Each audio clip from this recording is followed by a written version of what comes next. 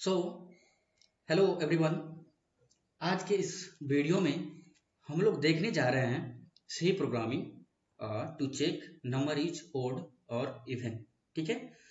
सो मैं इसमें यूज़ करने जा रहा हूँ if else statement if else statement को मैंने ऑलरेडी पिछले वीडियो में भी डिस्कस किया हुआ है।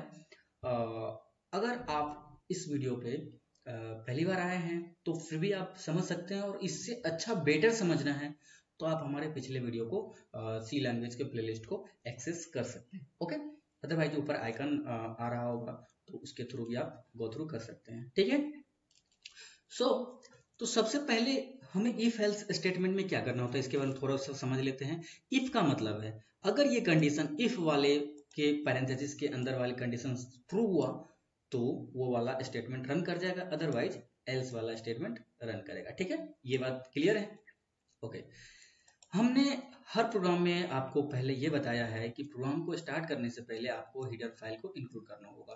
तो आपने यहाँ पे हीडर फ़ाइल इंक्लूड कर लिया, ठीक है? तो हीडर फ़ाइल इंक्लूड करने से क्या फ़ायदा है? जो भी उसका इनबिल्ट फ़ंक्शन है, उसे यूज़ कर सकूँ, ठीक है? ये इसके बेनिफिट्स हैं, ठीक है? अब पता है कि कोई प्रोग्राम को रन करने से पहले हमें उसमें मेन फ़ंक्शन बनाना होता है। मेन फ़ंक्शन के थ्रू ही हम किसी प्रोग्राम को रन करवा सकते हैं। ठीक है?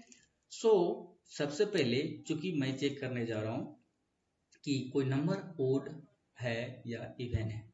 ठीक है? सो so, यहाँ पे ओड और इवेन कब चेक करेंगे? जब आपके पास एक नंबर है। आप ये माने कि आपके पास एक नंबर आ गया। ठीक है? आपके पास एक नंबर आ गया। अब उस नंबर को आप कैसे चेक करेंगे? सपोज़ आपके पास नंबर फाइव आ गया। उस नंबर को आप कैसे चेक करेंगे कि वो ओड है या इवेन है? ऑब्वियसली आप उसे डिवाइड करेंगे, अगर रिमाइंडर नहीं बचा तो कह देंगे ये इवन है अदरवाइज़ कह देंगे ओड है। उसी प्रकार, अगर आप इसमें कुछ ऐसा कंडीशन लगा दें, उससे पहले मैं ये बता दूँ कि यहाँ पे हमने एक मैसेज छोड़ा है कंसोल पे एंड ये स्कैन फ़ंक्शन के थ्रू हमने एक नंबर ले लिया है। और यहाँ पे इसे बोला जाता है एड्रेस अगर आप ये नहीं लगाएँगे तो प्रॉब्लम आएगी। बेटर है कि आप इसे यूज़ करके तब यहाँ नंबर लिखें। और ये नंबर यहाँ इसलिए लिखा है क्योंकि हमने इसका आइडेंटिफायर बनाया है, क्योंकि देखिए, आप यहाँ नंबर स्कैन करवाएँगे और इसे रखेंगे कहाँ पे? इसका मेमोरी लोकेशन होना चाहिए। तो मेमोरी लोकेशन कहाँ है? यहाँ। तो मेमोरी लोकेशन का नाम है नम एंड एट इसका डेटा टाइप है इंटीजर तो चूँकि हम इंटीजर टाइप का डेटा टाइप को ही हम इनपुट करवा रहे हैं, ठीक है? तो सपोज़ कीजिए आपको यहाँ से एक नंबर मिल गया। तो अब इस नंबर पे हमें कुछ फॉर्मूला अप्लाई करना है। सिंपली क्या कहेंगे यहाँ पे कि नम ओके इसका मॉडलस कैसे निकालते हैं? इस प्रकार से num divided by modulus two ठीक है?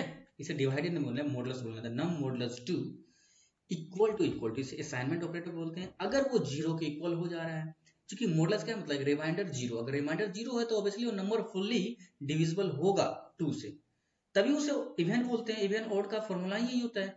ओके सो so, अगर ये कंडीशन ट्रू हुआ तो सिंपली आप यहाँ प्रिंट एफ़ स्टेटमेंट लगाएँगे। प्रिंट एफ़ स्टेटमेंट लगाने में क्या होगा कि यहाँ देखिए नंबर नंबर और परसेंटेज काम क्या करता है? इंटीजर वैल्यू प्रिंट करवाने का। जो नंबर आपने एंटर किया उस नंबर को ये चेक कर रहा है।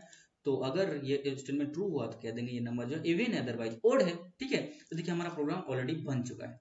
मैं इसे सेव करता हूँ। सेव करने के बाद करना एग्जीक्यूट के बाद कंपाइल करना है।